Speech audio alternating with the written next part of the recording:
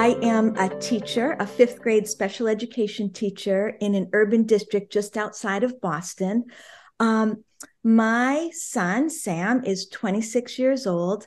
Um, and I think in my heart, I really always knew that he was gay. And I was comfortable with that right from the beginning. Um, I have a brother who is gay and has been with his partner for over 30 years.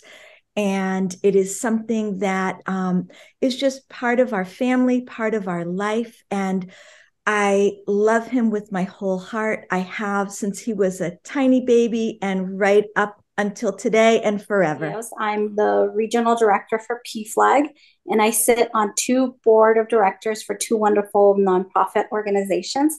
And I have been um, involved with the LGBTQ plus community since my son came out 13 years ago.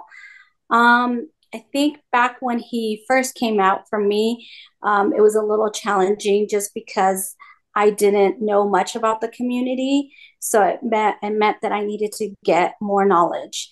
Um, for me now, I'm honored and blessed. He has filled my life with joy, and it's just wonderful to have him in my life. Um, I've learned so much about not only about the community, but about myself and um, how to overcome challenges as a mother of a gay son? Um, I am a photographer.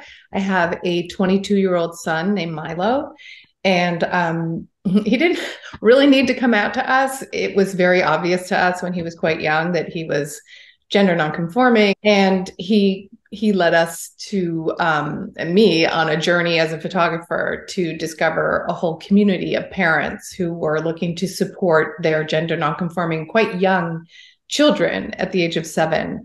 And um, I've been blessed with two gay sons, um, whom I love so so much. My uh, I have a 38 year old son that came out uh, oh I think uh, almost 25 years ago, um, and then I have a 35 year old son that didn't follow short. He followed pretty shortly after that. And so uh, we supported him growing up in Utah. It's a very conservative, uh, religious area.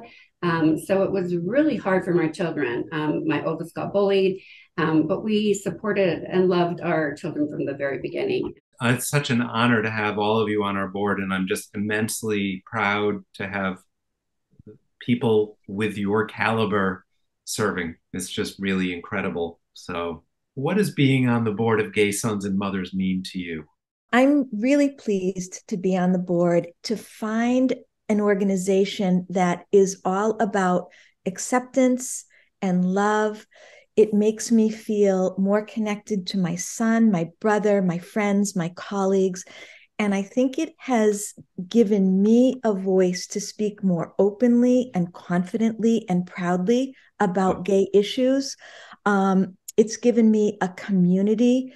Um, it it has really meant a lot to me personally and made me I think, more confident in being an advocate for um, LGBTQ plus people?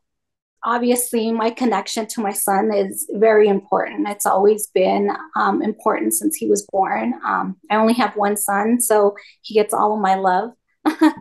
but just being a part of this organization has um, brought a lot of joy to me just to, to, hear other mothers to be a part of something bigger.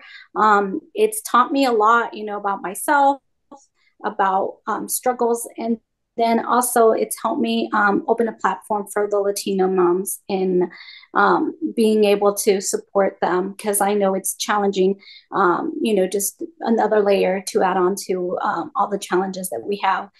So for me it's just filled my heart with joy. And um, I'm happy to be a part of this organization and to continue to be an advocate for the LGBTQ plus community.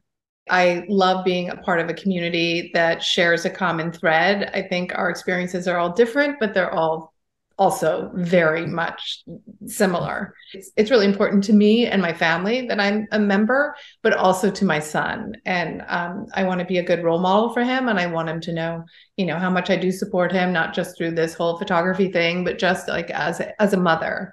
Um, who's in a group that you know is doing whatever I can to um, help move you know Rick's mission forward. I get so much joy out of looking at Instagram and seeing all the new um, moms and their sons on um, on Instagram and, and and just all the love. And that wouldn't have happened without Rick. So I feel very honored to be able to be on this board and um, and just help um, with that platform to just let the the moms know that they're you know love your children and and um, there's just so much to our children and just to love them.